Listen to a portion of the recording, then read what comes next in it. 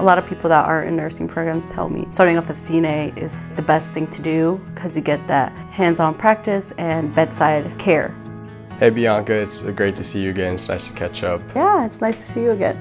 So Bianca, you just finished your testing date. Would you like to talk a little bit about that, how your experience was with it? What I enjoyed most from the class is when I finally got to do the hands-on experience, reminiscing on it, that was my favorite part, just getting to know everyone and getting more hands-on practice and feeling more comfortable because now I remember I was like, oh my gosh, I'll always be afraid of like touching them. I was so afraid. And now that I can, I'm like, who would have thought? Like, I feel so much more comfortable and I, I love all the residents and I get along with them. I'd say my favorite part of the experience from the TNA to CNA program was actually just how genuine the, the conversations were with the residents um, that are here at Sunnyside.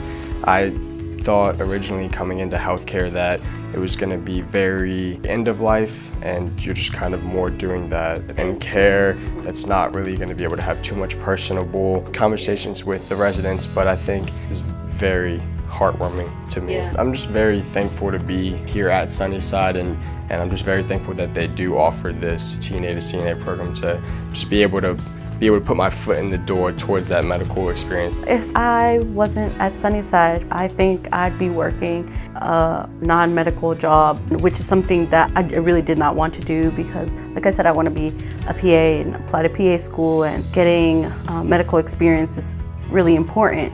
Just being at Sunnyside has better prepared me for my future in healthcare.